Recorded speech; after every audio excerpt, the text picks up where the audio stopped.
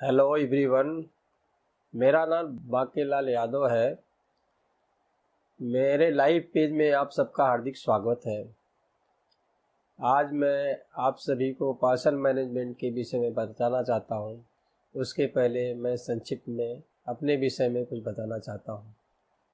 मैं twelfth Ram Niranjan Jhunjhunwala college RJ college Ghatkopar से और graduation BA special economics RJ college Mumbai university से किया। इसके बाद मैं वी से टेक्सटाइल डिप्लोमा किया, क्योंकि मेरी जॉब जो है टेक्सटाइल इंडस्ट्रीज़ में लग गई थी। इसके बाद 21 जनवरी 1988 में मैंने railway as a commercial clerk, assistant commercial clerk A के पार्शल मैनेजमेंट को हम दो भागों में विभाजित कर सकते हैं। एक इनवर्ड आवक और एक जावक आउटवर्ड दो कैटेगरी में हम इसे डिवाइड करते हैं। इसमें आवक के रूप में गाड़ियों से माल आता है और उस पर गाड़ियों को में, से माल उतारने के बाद उसका मिलान किया जाता है कि कितने पार्सल बुक हुए, किस आर आर नंबर से बुक हुआ, कितना पार्सल आया, कोई शॉर्ट पार्सल आया तो उसका डी मैसेज किया जाएगा। और पार्सल टूटा फूटा आया, कम आया तो है। इसके बाद पार्सल को अपना निर्धारित स्थान पर उसे रखवाया जाता है और पार्टी जब अपनी रसीद लेके आती है ओरिजिनल आरआर तो उसके ऊपर से डिलीवरी दिया जाता है। अगर लेट लेके आती है तो उसके ऊपर वारफेस, जो कुछ रेलवे के हिसाब से है, वो स्वीप किया जाता है। और आउटवर्ड में बुकिंग के समय हम पार्सल जब व्यापारी या एजेंट या यात्री लेके आता है तो उसका हम सबसे पहले पैकिंग का ध्यान देते हैं। पैकिंग का ध्यान इसलिए देते हैं कि वैसे तो इसकी ट्रेनिंग रेलवे खुद प्रशिक्षण, उसका प्रशिक्षण स्कूलों में से इसकी ट्रेनिंग मिलती है, इसके बाद ही नियुक्ति दी जाती है।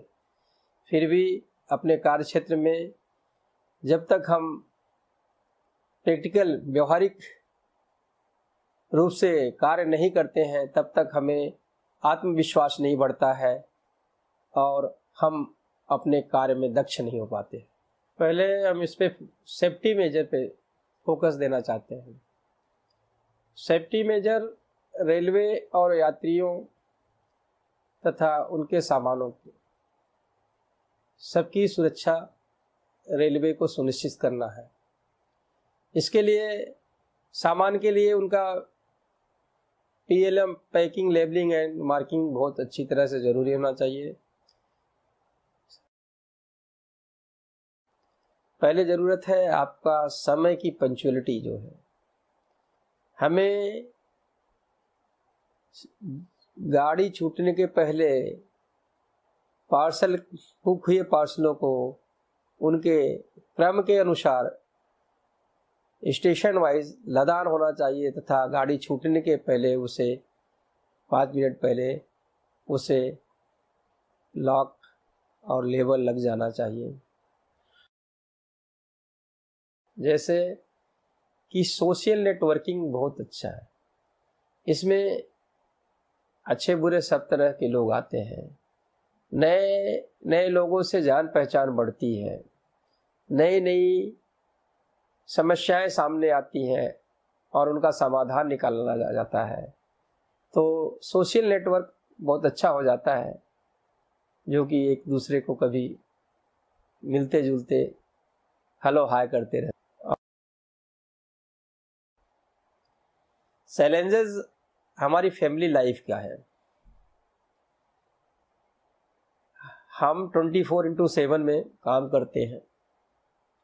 घर में कुछ भी हो जाए, कोई हादसा हो जाए, आप फैमिली बच्चे के साथ तो आप काम छोड़ करके ऑफ़िस छोड़ करके नहीं आ सकते हैं जब तक आपको छोड़ा न जाए वहाँ से। सबसे अच्छा दिन तो होता है जब हमारा स्टाफ फुल ड्यूटी पे आ जावे और किसी को डबल न करना पड़े। उस दिन तो बहुत अच्छा रहता है। और अच्छे किस्म की पार्टी आवे, सबका माल सही सलामत आवे, पूरा माल आवे पार्ट में न आवे और किसी तरह से कोई टेंशन न रहे। तो दिन अच्छा हो जाता है। कभी कभी इतना प्रेशर हो जाता है कि ऑफ़िस से भी और इंक्वायरी पुलिस की आरपीएफ की, व्यापारी के एक साथ में आ जाता है तो उस समय थोड़ा धैर्य रख करके सब काम को सिचुएशन को हैंडल करना पड़ता है। इसी तरह से हमारा हर दिन अलग अलग होता है अलग अलग हिसाब से होता है। मैं आशा करता हूँ कि पार्सल मैनेजमेंट के विषय में आप लोगों को मैं एक बैलेंस्ड ओपिनियन अपना विचार दे पाया हूँ इसमें आप अपना करियर चुन सकते हैं। धन्यवाद। आपका दिन शुभ हो।